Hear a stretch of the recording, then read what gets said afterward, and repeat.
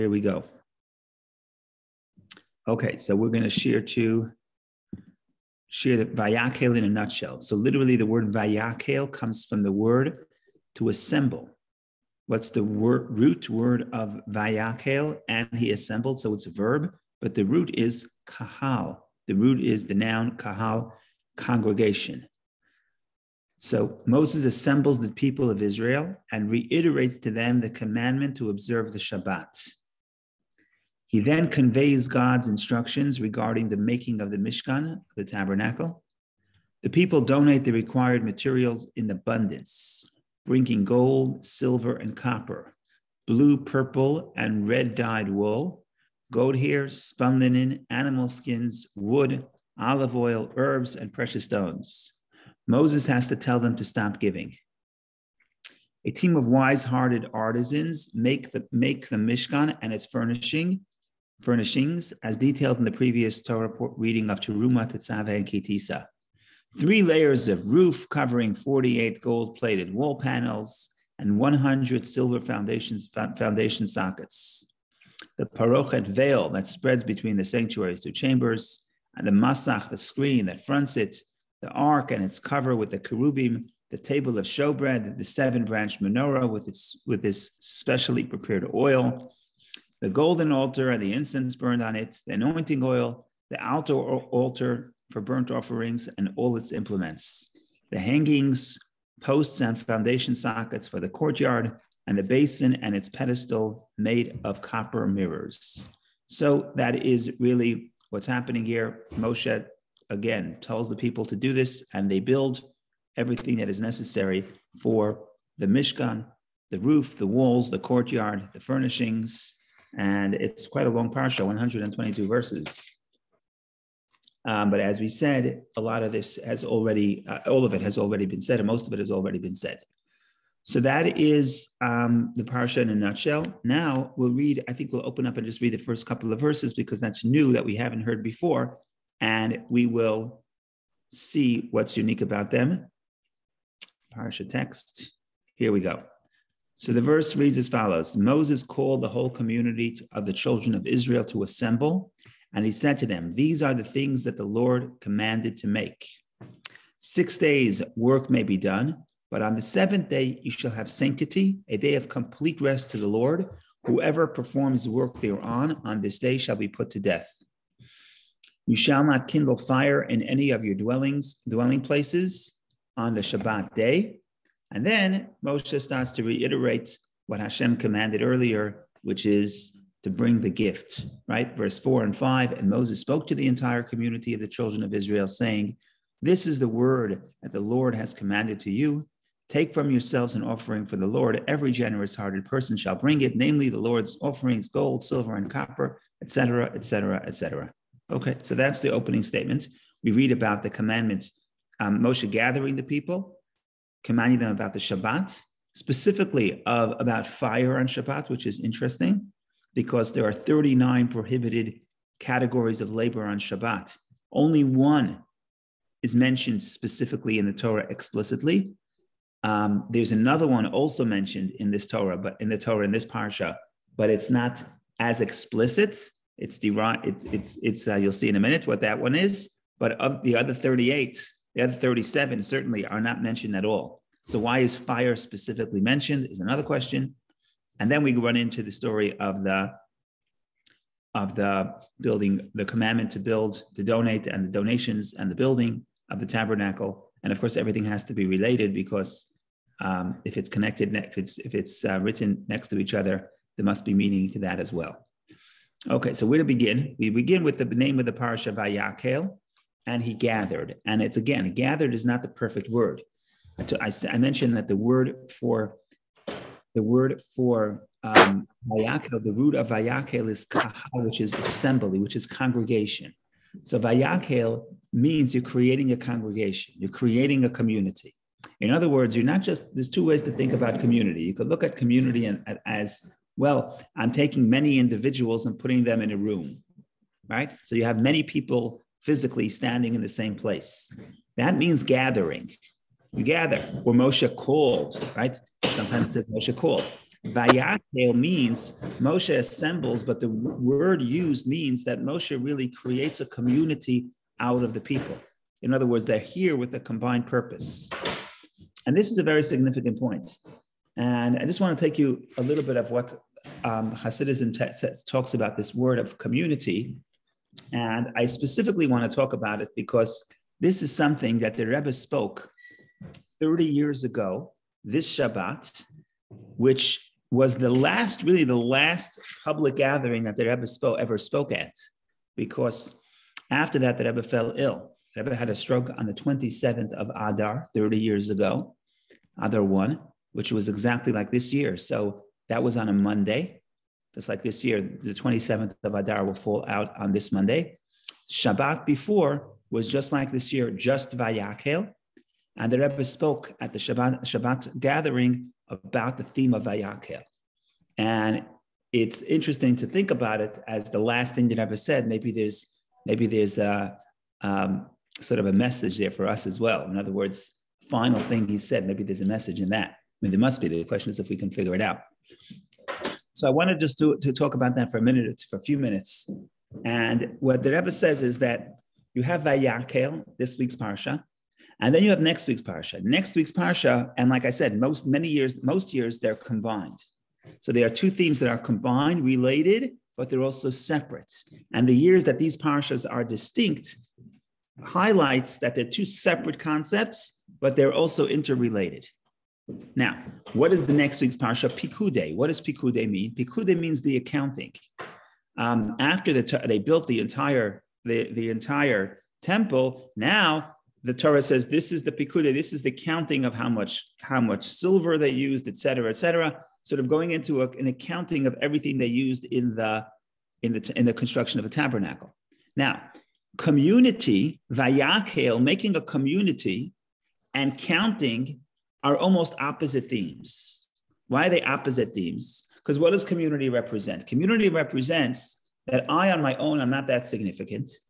Only when I gather with other people do I create this unit, this entity called community. But an individual on their own does not have the power to create a community. So Vayakhel highlights the community. What does Pikude mean? If you're going to start counting everything that was given, when you count things, you're counting them as individuals. And to the contrary, you don't want to look at the, the, the subtotal or the total. You want to look at each individual unit. That's what counting is about. So counting actually highlights the uniqueness and the unique contribution of every person, which is the individuality of every one of the group.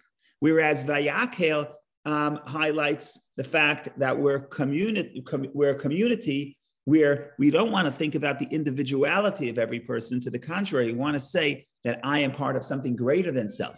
So I'm not drawing attention to myself. I'm actually part of something greater than self. That's what a community is. Now, both of these things are important as we will discuss, and they help each other, but they're two separate themes, and that's something to think about. So, of course, from the Kabbalistic perspective, there's all kinds of other ways of looking at this. You if you want, you can read what Rabbi Jonathan Sacks, uh, what they sent out from Rabbi Jonathan Sacks this week, also talks about the idea that if you look at, for example, um, evolution, survival of the fittest, you would think that the person, the, the individual, you need individual individual traits to be able to survive. And sharing with community, really, you would think that that would actually decrease your chances of survival. That's if you're looking at an individual. But if you're looking at a society, the opposite is true.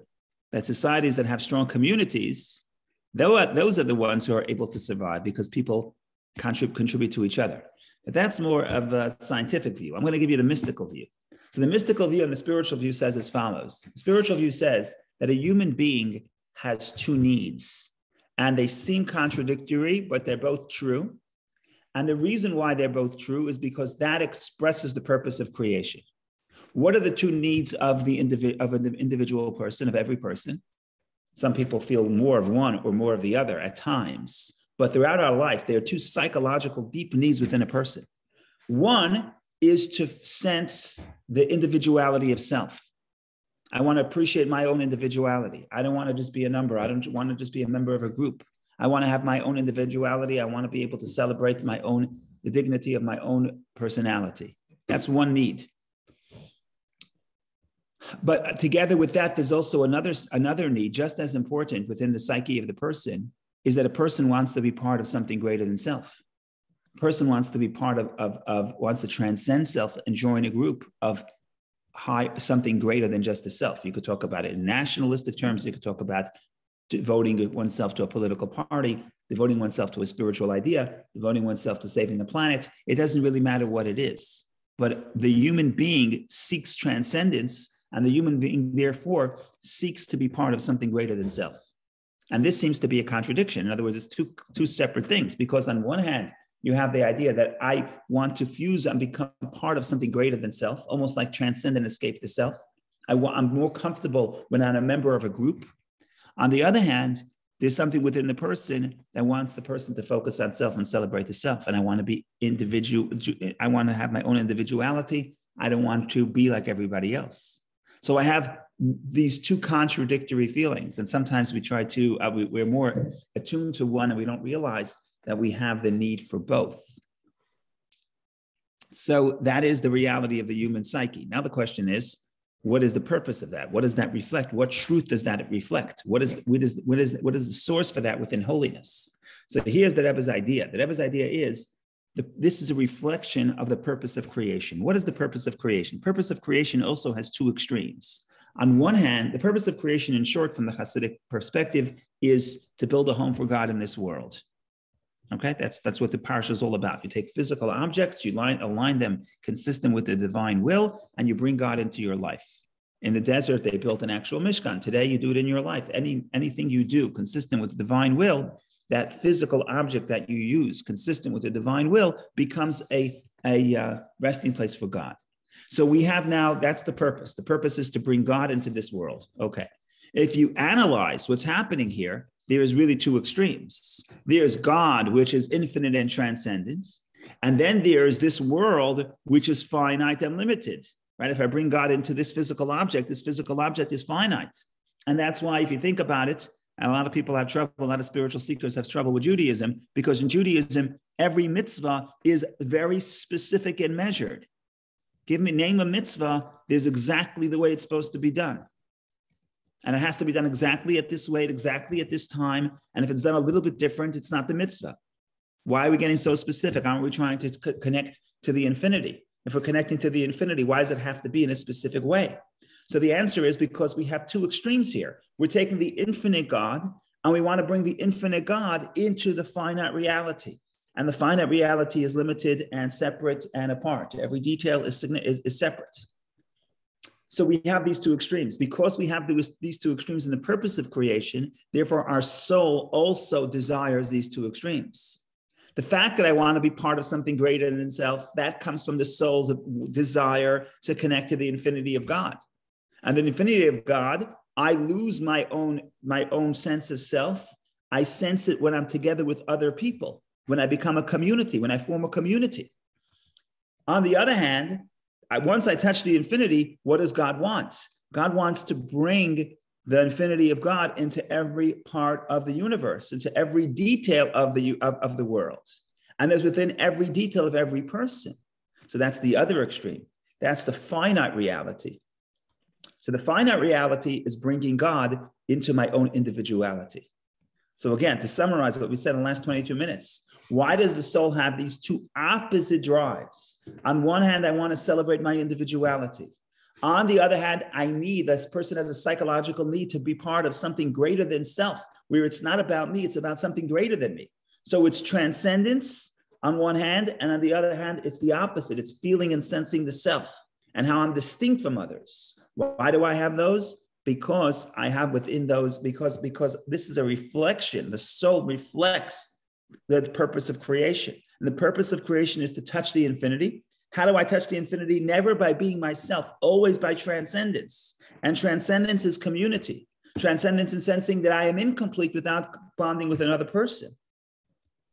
So when I transcend the self join a community, that is how I touch the infinite. But touching the infinite is not enough, it's only the first step. After I touch the infinite, I have to bring the light of God into my own personal life. My own personal life represents my individuality.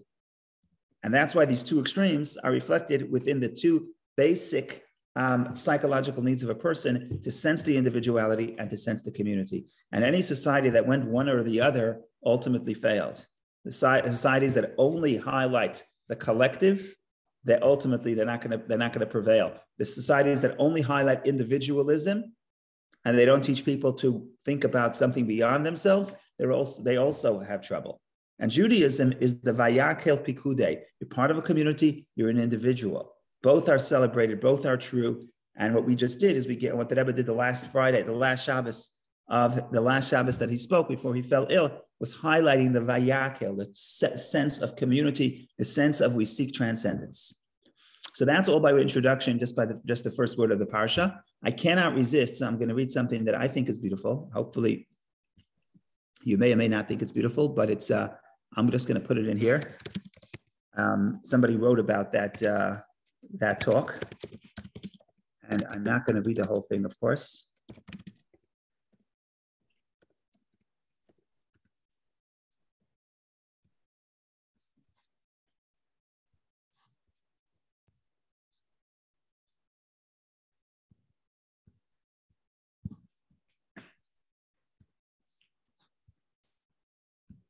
Okay, so this is Yanki Tauber, who's probably my favorite writer on Chabad.org.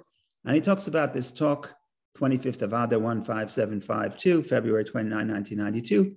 And he describes the Farbrengen, he describes the gathering, he describes what the Rebbe spoke about, Vayakhel and Pikude. And you can read it, it's a nice essay. And the end, he writes what happened. Yeah, I'm going to share the link. Uh,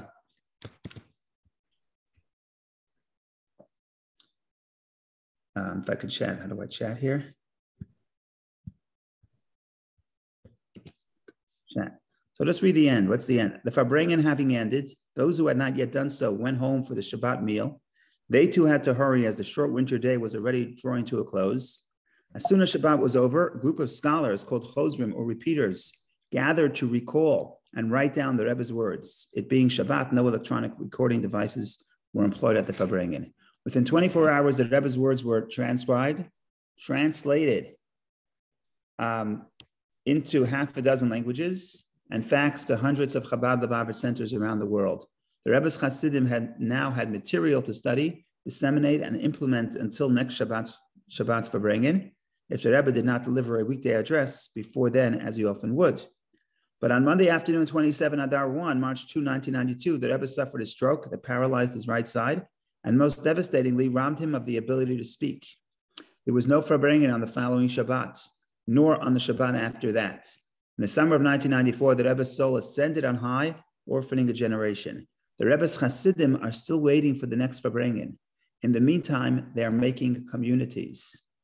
So this is uh, Yanki Tauber's way of saying that that last final Farbrengen is what the Rebbe's, uh, I guess, the Rebbe's directive is that to help us create communities, in other words, help us realize the desire for transcendence and how that desire for transcendence touches the infinity, but that's only the first step. And the second step is once I sense that infinity, now I have to bring that holiness to myself, to my own personality. And that's how I have both extremes, because what we're trying to do on this world, in this world, is really two opposing extremes, bringing the infinity of God into the finite reality. So it's community, which emphasizes transcendence, and individuality, which emphasizes limitation. So that's the story in short for the first word, Vayakhel. Now that we finished the first word, we could take some questions and maybe move on to the second word because we have a whole parsha, 122 verses. Go ahead, Vicky. Oh, thank you. Thank you, Rabbi. That was really beautiful and very meaningful talk. Um, but my question is either in this in this particular speech or before, what comes first? So according to the order of Parsha, the transcendence Very comes first, and then and then uh, and then the individuality. But but how can you contribute if you don't self, sense the self? Very good. Very good. So if you read Yanki Tauber's article, he he he talks about it. So I'll tell you what he says. I'm not sure that's, that's, exactly what the Rebbe said. It's an adaptation, but that's what he said. And I think maybe we can, I'll offer you another interpretation as well. So let's start with the Yanki Tauber's interpretation. Tauber's interpretation is like this. Where do you start from? Do you start from the individual or do you start from the community? The problem with starting from the individual, of course, I have to start from the individual. The question is as follows Do I not contribute until I perfected myself? That would mean pikude. Pikude means you're counting me as an individual because I'm perfect, but I'm not perfect yet. So let's wait till I'm perfect. That's one view. The other view is no. You join a community. You're imperfect. Don't worry about it. You join a community. The community will help you as an individual reach your individual perfection. Right? So, in other words, you, how do you look at it? Do you look, is a community a group of perfect people? Or is the opposite true? That's starting from the individual. When you take 10 perfect people together, you make a community. But then you have to wait for 10 people to be perfect together right? So each number, when you say the individual, you're starting with the individuals means, oh, now I'm perfect. When I'm ready to contribute, I'll contribute. When I'm ready to, to share, I'll share. First, I have to work on myself. Okay, but you're never going to be ready. You're never going to be perfect. Why not? Because what brings out your perfection is the community. So the community doesn't erase your individuality. To the contrary, the community helps you highlight and perfect your own individuality, your own individual blessing, because you're also getting input from other people. So when we start with Vayakhel, we start with the community and then go to the individual. What we're telling you is do not wait until your individual contribution is perfect before you join and, and transcend and contribute and interact with somebody else. Join the community when you're imperfect. And that community will help you perfect yourself. This, is on, this is on the condition that community is healthy we're assuming, yeah, we're assuming that the community is a group of people who each one is transcending myself. You see, sometimes what the community is, the community is that is uh, that is sometimes the community is trying to erase the individuality, right? We have the community. This is the way we do things. And if you're an individual and you don't want to conform to the community, we're going to blot you out, or we're going to force you to join our mold. That's not that's that's not that's not the Jewish notion of community. The Jewish notion of community is that the collective is enhanced by the uniqueness of each individual. So it's not about destroying or, or suppressing the individuality. To the contrary, we need each person to contribute their own individuality, which that is what makes the community. But, but again, the question is, where do you start from? You start from transcendence, or do you start from from my own my own individual blessing? So that's the that's the one way that's the more practical view. The the view that that um, the view that Chassidus says in other places is I cannot, you first have to touch the infinity. In other words, I can't perfect myself until first I touch, I, t- I touch God. First I reach God, then I bring God into my life. Right? So first you have to transcend the self, touch God, and then I could um, sanctify the self. So that's why first comes the community, first comes the kahal. Again, what is community? Community means I'm, I can not be by myself. Why not? You're, you're a nice guy. No, because I'm imperfect. Not that I'm imperfect. I sense that there's more to me. I sense that I'm not complete. I sense there's something that's greater than my own finite reality. Where does that come from? That's the strive to touch the infinity. And when I'm joining a community, I'm not joining the individual member of the community. No individual member makes the community. It's the collective. It's that everybody here is trying to touch something beyond themselves. But then everyone has to realize that what makes the community, what, what, what the next step is, realize that that drive for transcendence has to be ultimately grounded in every individual. And therefore, everybody takes the inspiration of the community and brings it back to their life in a different way, in their own unique, in their own unique way. And that's the numbers that follows the community. Okay, it's a little abstract, a little philosophical, but here it is. And now we could continue unless anybody else wants to comment or question. Otherwise, we continue on the journey. So, as noted, we I want to talk about the few verses that are unique in this part. Well, that's not it's not either unique. That's the truth. Shabbat was also mentioned before earlier, but it is interesting to note that whenever whenever the Torah mentions the commandment to build the tabernacle, the Torah says, keep Shabbat. Those two commandments always work together. And the question is, of course, why, why that is. So if you look, for example, in this parsha, let's share the screen. Um, right away, God called Moshe, assembles the Jewish people, and he says, Six days, chapter verse two, six days work may be done, but on the seventh day you shall have sanctity, a day of complete rest for the Lord. Whoever performs work thereon on this day shall be put to death. You shall not kindle fire in your any of your dwelling places on the Shabbat day. And Moses spoke before the entire Jewish community and says, "This is the word that the Lord, this is the word that the Lord has commanded," and basically give the gift. So what do we have here? We have Shabbat and then tabernacle. If you look back, when God spoke to Moshe, first he tells them about the tabernacle, then he says Shabbat. So we're not going to get into that, that, that, that distinction, but the bottom line is whenever Shabbat is mentioned, the, the, the, whenever the Mishkan is mentioned, Shabbat is mentioned. Why is that? So we'll look at Rashi. Rashi quotes the Medrash. Six days. He, Moses, prefaced the discussion of the details of the work of the Mishkan with the warning to keep the Shabbat, denoting that it, i.e., the work of the Mishkan, does not supersede the Shabbat from Mechilta. This comes from Mechilta. What is Moshe saying? God comes to the Jewish people and says, Do me a favor, build a home for me. So, what would we, we would think? It's a mitzvah. It's a mitzvah to build a home for God. So, what should we do? We should build a we should build, we should, we should get involved in the construction 24 7 because it's a, it's a mitzvah to build a home for God. So, God says, One second keep Shabbat and build the and build and build the Mishkan. What does that tell you? That the Mishkan, building of the Mishkan, does not override Shabbat. Shabbat is a day of rest. You want to build a Mishkan, you do it on your own time. You do it in the six days. And that's why this is a general rule. That's why wherever you'll see, you'll see the commandment to build the Mishkan, it would always reiterate Shabbat either before or after. That's one interpretation. There are other interpretations. By the way, how do you know what is considered work on Shabbat? Do not do work on Shabbat. What's work? What's work? So, without getting into the, the, the, the discussions here at great length, anything that was necessary, any category of labor necessary to build the tabernacle becomes a category of labor prohibited on Shabbat. So the 39 prohibited categories of, of, labor are the 39 categories of labor that were necessary to build the Mishkan. But if you can find work that was not that was not incorporated in building the Mishkan, th- that you can do on Shabbat. That's not considered work.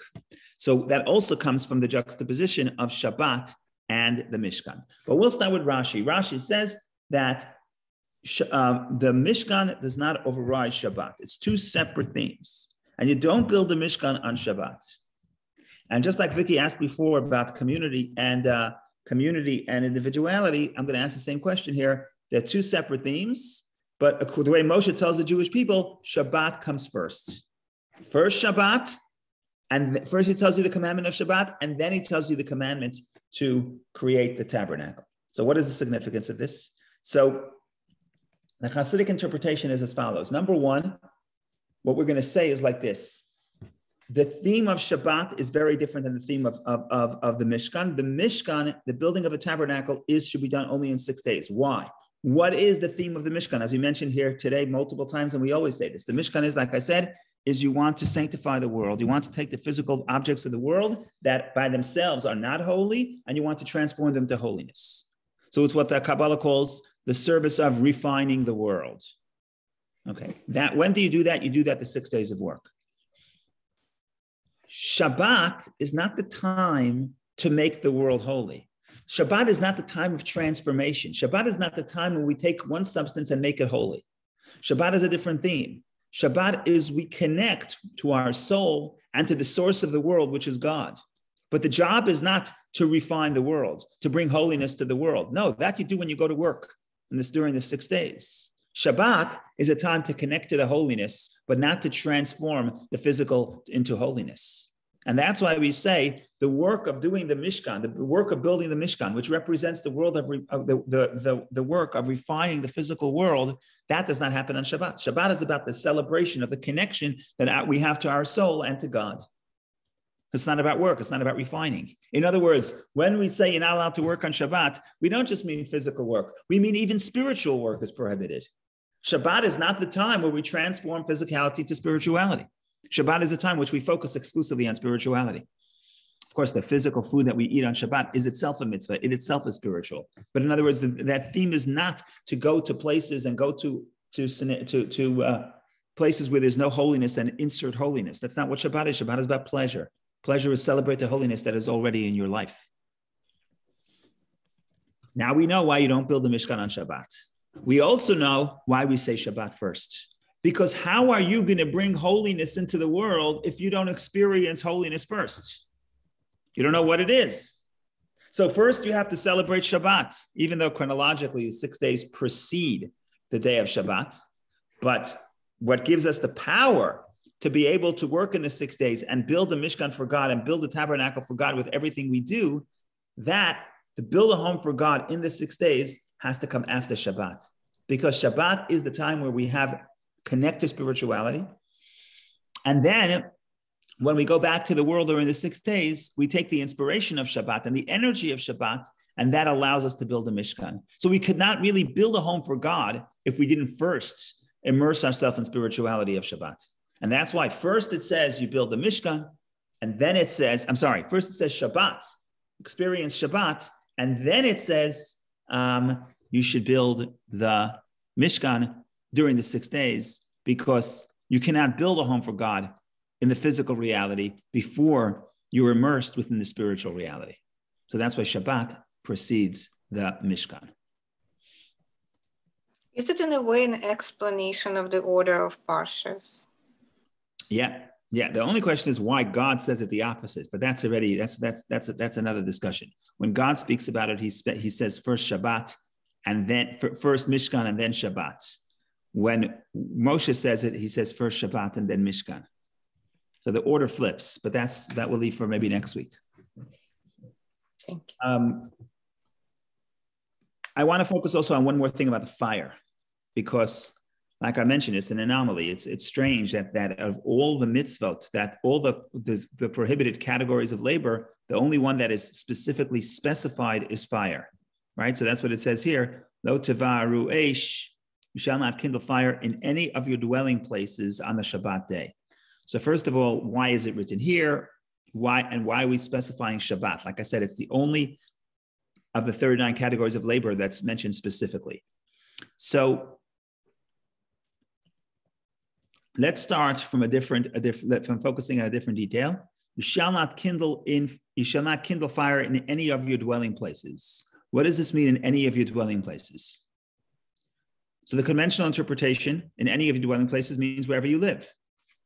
So what does that come to exclude? Is, does it exclude anything or does it include everything? What is this? What do we need this? What if the verse would just say, you shall not kindle fire on the Shabbat day?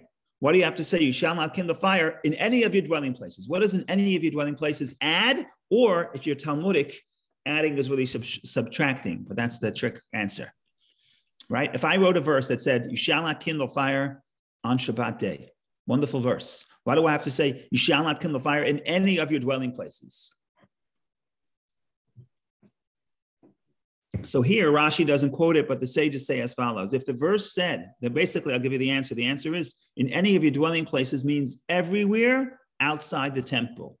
The temple is God's dwelling place. In the temple, you're allowed to kindle fire on Shabbat. Not only you're allowed to, you're supposed to, because on Shabbat they did all the service in the temple as usual. Right? It says you should there should be a continuous fire burning in the temple. Tamid, when it says tamid, continuous, it means even Shabbat.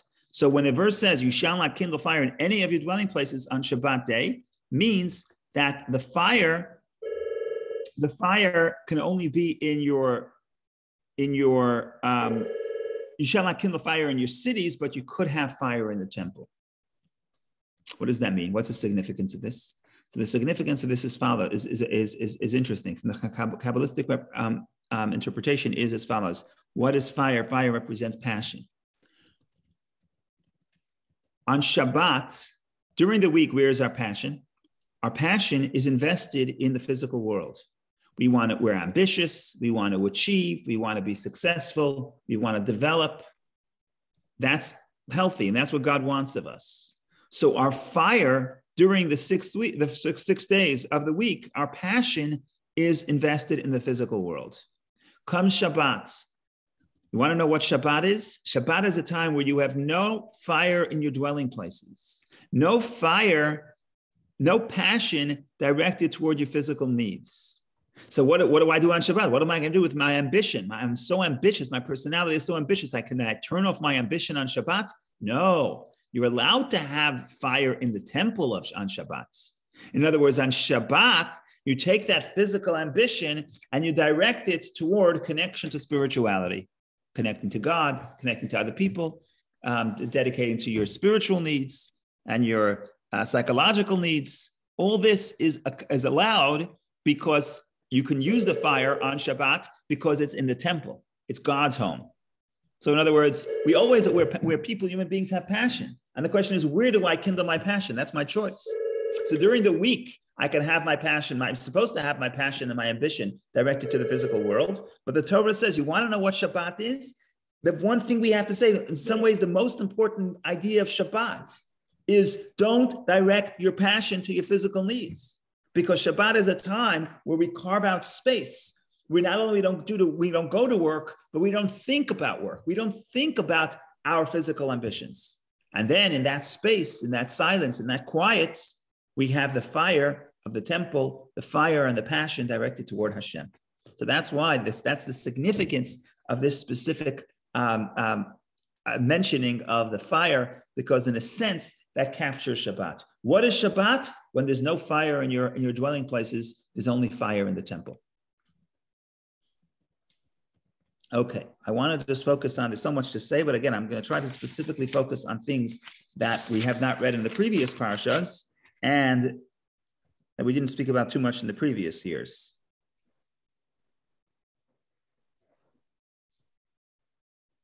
Okay, so let's let's think about the donations. Well, we have a description of the donations. Everybody's happy to donate, but you'll see in a minute the Torah seems to be highlighting one class of people over the other.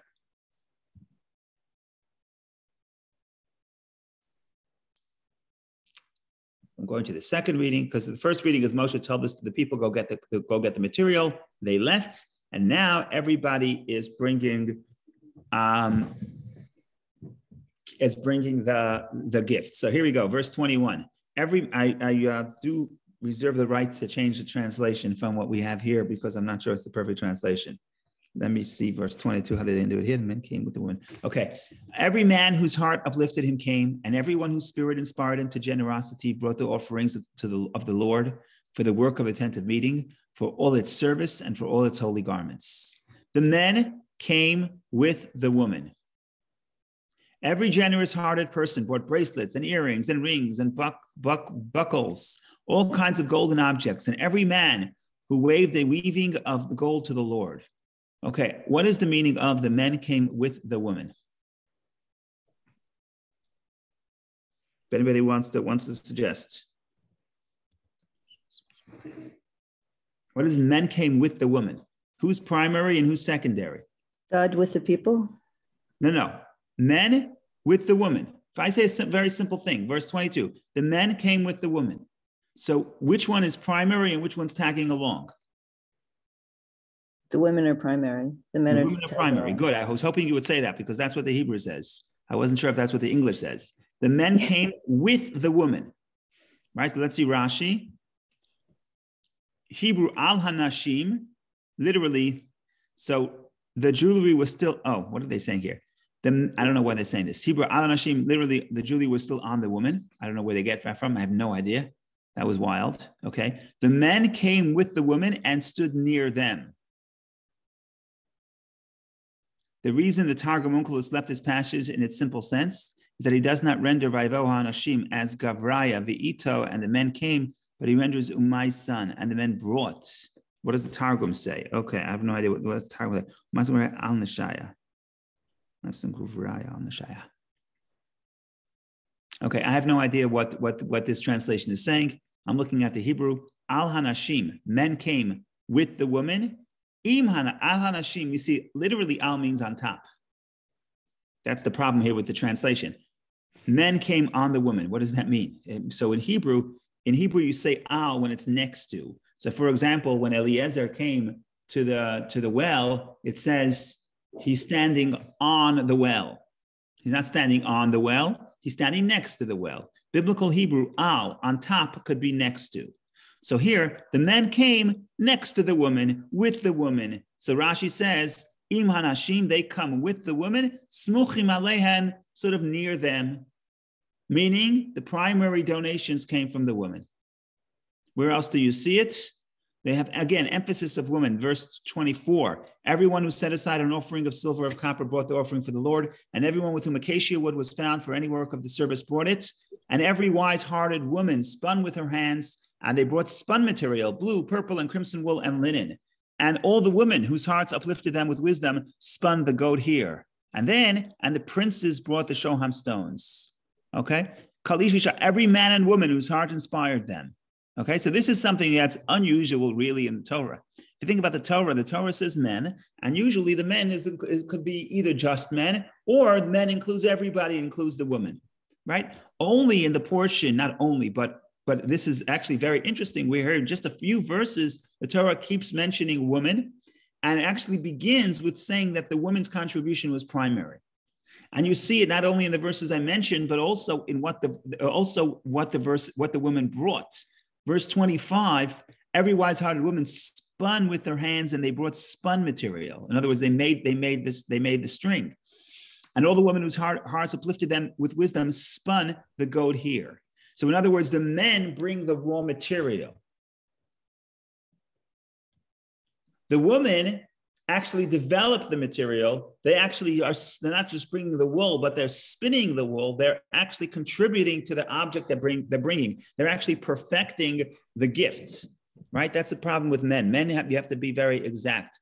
My wife sends me to the store, and she gives me a list, and I buy everything on the list. And then she says, "That's it. You didn't buy anything else." I said, "What am I going to buy? I buy what's on the list." She says, "No, you go to the store. You're supposed to buy what we need, not what's on the lists." So I say, what do I know? If, you, if it's on that you want me to buy it, put it on the list. But, but she goes to the store and she comes back with everything we need. In other words, the women have an intuition. The men have the list of materials. So they go to Home Depot and they buy the list of materials. You want gold, I'll give you gold. You want silver, I'll give you silver. But the women here, it's saying the wise-hearted women using their creativity, and they're actually expanding upon the commandment and perfecting the commandments. So that's something the Torah is going out of its way to highlight. So the question is, what's the significance for that? So we're going to try to address that in a minute, but first Richard wants to say something. Richard, please, please enlighten us. Sure. In fact, when it comes to women specifically, they nurture, they nurture, right. they make it grow, they infuse things that nurture and help, for example, children. They nurture the children. So in essence, this could go into, a, you know, correlate to what you were just saying about yes. yeah. material, material being used.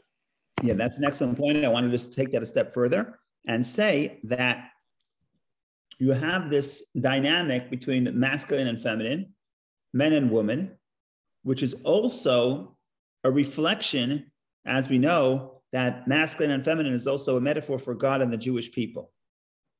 Right? We read the Song of Songs on Fridays, and the metaphor of God, God is the bride, God is the groom, we're the bride. And the relationship between God and the Jewish people is the masculine and feminine. And we're the feminine, we're the recipient, we're the feminine. So if you look at the dynamic of masculine and feminine, also the God gives us certain commandments. And when we fulfill the commandments of the Torah, that's the masculine aspect. We're doing exactly what God says. Okay? It's a wonderful thing to do what God says. But the Jewish people are primarily have feminine energy. And feminine energy, like Richard says, is to nurture and develop. And that's why in our relationship with God, we do the same thing. The Jewish people actually add to the Torah. We beautify the mitzvah. There are things that the Torah says are, the Torah doesn't, doesn't ask us to do, but we decide that we're going to do because we want to contribute to the relationship. So this is very interesting. If you think about this, not just literally about that one-time event where the men bring the commandment and the women bring more than the commandments, you could think about that as the paradigm for the Jewish people. We have, in other words, God and the Jewish people, masculine and feminine. Within ourselves, there's also the masculine energy and the feminine energy. And the masculine energy wants to do what God says, and the feminine energy wants to develop it.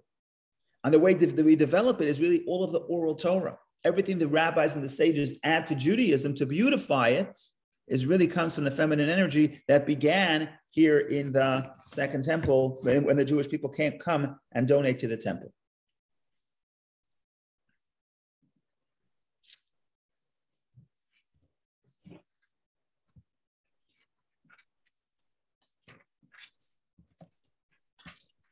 Now we're on that theme. I want to talk about one more thing that the women contributed. And this I spoke about in the past, but it's too beautiful to miss. So we're going to talk about that again. And also in the same theme. And also you see how here you have a conflict between the masculine and the feminine, in this case between Moshe and the Jewish and the and the Jewish woman. And Moshe is overridden by God in favor of the woman. So to see that, we want to look at um, Exodus chapter 38, verse verse 8. I'm going to share the screen. If you have this, this the stone, it's 527.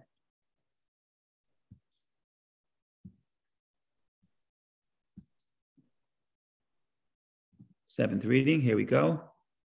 Okay, so after talking about the um, all the all the vessels, the mizbeach haktoris, the incense altar, and then the altar for the offerings. Finally, at the end, the last one of the vessels, we read about the kior, the wash wash basin. So verse eight, verse eight, and he made the the, the wash stand of copper and its base of copper from the mirrors of the woman who had set up the legions. Okay, this is a translation. Who co- congregated at the entrance of the tent of meeting. Who had set up the legions is translation is a translation, is a commentary, I mean. It was they made it from the mirrors of women, of the women of legions. Legions means groups of soldiers, but it can mean groups of anybody organized who congregated at the entrance of a tent of meeting. So there was a congregation of women. The women congregate to the tent of meeting with the mirrors. Now it doesn't say they congregated with the gold or the silver or even with the wool that they spun earlier. There's some there's some commotion here about the mirrors. And we'll, so we'll read the Rashi and we'll see what the mirrors uh, signify and what happened here. And that will also explain why the, in English they translated who set up the legions. That, that is a reference to the woman who raised the next generation of Jews in Egypt. That's how Rashi will explain it. So for that, we have to open the Rashi. Now we have to open it, show Rashi's commentary. Okay, see, it's a long one. All right, here we go. Okay. From the mirrors of the woman who had set up the legions. I got to make it bigger because I'm getting old. Hebrew B'maris Hatzovos. Israelite women owned mirrors, which they would look into when they adorned themselves. Even these mirrors, they did not hold back from bringing as a contribution toward the Mishkan. But Moses rejected them because they were made for temptation, i.e., to inspire lustful thoughts. Moshe's like, mirrors, the last thing I want for temple is a mirror. What is a mirror? A mirror is vanity. A mirror is designed to, to, to arouse lustful thoughts. The Holy One, blessed be, he said to him, accept them, accept them. For these are more precious to me than anything, because through them the women set up many legions, i.e., through the children they gave birth to in Egypt. In other words, these mirrors were uh, responsible for the children being born in Egypt. How so? When their husbands were weary from back-breaking labor, they, the women, would go and bring them food and drink and give them to eat. Then they, the women, would take the mirrors, and each one would see herself with her husband in the mirror. And she would seduce him with words, saying, I am more beautiful than you. And in this way, they aroused their husband's desire and would, I, would copulate with them, conceiving and giving birth there, as it is said in the Song of Songs, of course, where all the good verses are. Under the apple tree I aroused you. Song of Songs, chapter 8, 5. This is the meaning of that of what is Bamares Hatzovos, literally the mirrors of those who set up the legions. From these mirrors, the wash, the, the washstand was made because its purpose was to make peace between man and his wife. How so? Okay, we're going to the next subject. Okay, so this is a beautiful medrash. What is the medrash really saying? What the medrash is really saying that from Moshe's perspective, mirrors are off the table. Mirrors cannot be, cannot be used for spirituality. Mirrors direct our attention to the externality, to superficiality. Mirrors eh, direct our attention to what is um, the least significant. And Moshe wants not a mirror. What does Moshe want? Moshe wants windows. In other words, what does Moshe want? Moshe is looking for transparency, right? What's Moshe's job? Moshe's job is really to show everybody and to teach us how to see the spark of God within everything to look at the internal meaning of something, not the external. So if you want to talk about the metaphor of glass, we talked about this in Tanya in chapter six, that holiness, the metaphor for holiness, what is holy? What holy is transparent. If the concealment, if the covering does not uh, obstruct the spark of God within it. When you look at an object and you see how this can be used for, for, for spirituality, that's a, that, that the metaphor for that is, is, is glass. A mirror actually covers over, it's not transparent. And what does the mirror make you focus on? On self. I see myself. I don't see anything else. So Moses says this is not this is not this is not this is not uh, this is not where we can bring holiness. And once again, the woman say no, we want to donate this to God to the temple, and God intervenes and sides with the woman. What does that mean? What the women discover is that anything, even something that to Moshe appears to be vanity, and to Moshe appears to be um, just just just cre- just responsible for lust and negativity, the women show how everything could be used for holiness, even what seems to be negative. And that is, they use that power of lust to give birth to the next generation of Jewish people. So, really, what the mirror represents is that nothing is really out of the pale of beyond the pale of being used in the service of God. And Hasidic philosophy explains that that's really a, a, beautiful metaphor of a mirror. What's a mirror? Mirror, you take a piece of glass, and glass is transparent. You can see through it. That's a metaphor for holiness. Then you block the glass. It's no longer transparent. You don't block it completely because then it's not going to, you don't block it completely with something that would absorb the light because then it's just going to be a concealment. A mirror is not an absolute concealment. A mirror uh, reflects. So you're blocking, it's no longer transparent. You can't see forward, but what you could see is you could see behind you. In other words, what the mirror does, the mirror, by actually creating the blockage, actually gives you insights that you had not had without the blockage, without the concealment. Because usually you could just see forward, you can't see behind you. So what's happening here, here is without the mirror, you just see God in obvious places. With the mirror, you see the uh, you see you see the unexpected. When you cover, when you conceal over the godliness, but you have the skill to realize that the concealment is not absolute and it does not absorb the light, but it reflects the light, then you have the inside of the woman, and the woman would actually show that everything in this world could reflect holiness, and everything in this world could be used for uh, the service of God, even things that Moshe, who's just looking from the perspective of the commandments of what was told directly by God, Moshe says this cannot be incorporated. But the women say, no, we can bring things, we can we have the skills to use things that were not explicitly in the realm of holiness or even neutrality. This seems to be negativity, but we can actually bring that into the domain of holiness. And no longer do we have a, we don't only need a, a, a uh, window, which represents finding God in, in, in the transparent and the holy, but we could actually use the concealment to give us insight and find God behind us in the unexpected places, in the unexpected places, meaning in things that we have seemed to be um, to seem to seem to be devoid of godliness and goodness, but in reality, everything could be used for a higher purpose. So, in other words, to summarize, if I have to summarize what we said in the last couple of minutes, if the idea of this parsha is to build a home for God in the physical with the physical with physical material of the world, then we emphasize the contribution of the women because the women are actually the ones who have the ability to be able to find God in the circumstances where even Moshe himself is not able to do so. And of course, when I say women, I'm not exempting the men because, um, as Kabbalah explains, every person has 10 sfirot. Some of those energies are masculine, some of those energies are feminine. So both males and females have both the masculine and feminine energy. In addition to the fact that we collectively, all Jews collectively are, have the feminine energy because masculine energy is God. So this is not an exemption to anybody. This is actually inclusive to everybody, that everybody has to have that feminine energy to develop and to nurture and find good, good, the goodness and find the holiness in every circumstance, in every situation. So that, mm. ladies and gentlemen, is a story in short, a lot more to say. But if anyone has comments, questions, please share. Otherwise, if you want the continuation, you have to come back next year, same time, same place, in good in good health. And hopefully by then, the Mashiach will be here and the world will be a place of peace and harmony. I wish. Amen. Good day, Rabbi.